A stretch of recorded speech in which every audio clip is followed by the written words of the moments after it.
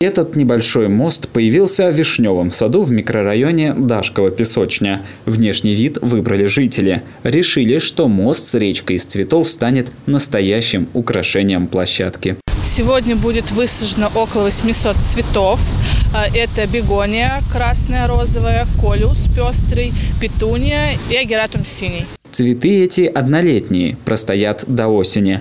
В следующем сезоне их уберут. На общественном голосовании жители ТОС выбрали именно эту композицию из топиарных фигур и цветочных клумб. Решили, что мост с речкой будет смотреться лучше. Так и получилось. За прошлый год никто композицию не разрушил, и на цветы никто не позарился. Надежды такие же и на этот год. Жители обещали следить.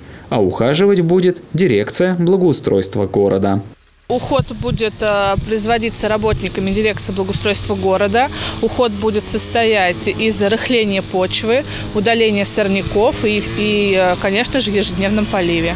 Как и композицию, так и цветы выбирали жители ближайших домов. Все 800 цветов привезли из питомника дирекции благоустройства города, что в Рыбном. Теперь они нашли свой приют здесь, в Вишневом саду. От воровства, конечно, композиция не застрахована. Сотрудники дирекции благоустройства города пообещали, что взамен пропавшим посадят новые.